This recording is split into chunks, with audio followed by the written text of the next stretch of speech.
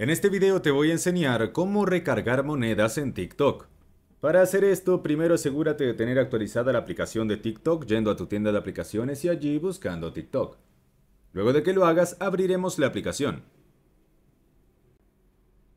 Ahora, para poder recargar monedas, deberemos hacerlo desde un live. Podremos buscarlos presionando arriba de todo a la izquierda en live.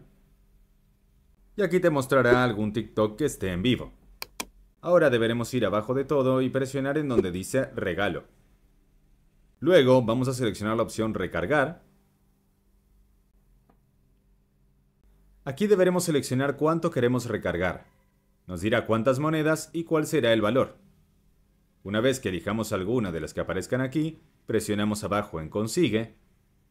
Y luego aquí deberemos confirmar el método de pago que utilizaremos. Una vez que lo hagamos, presionamos abajo en Comprar y de esta forma se recargarán las monedas en nuestra cuenta para que las podamos utilizar luego.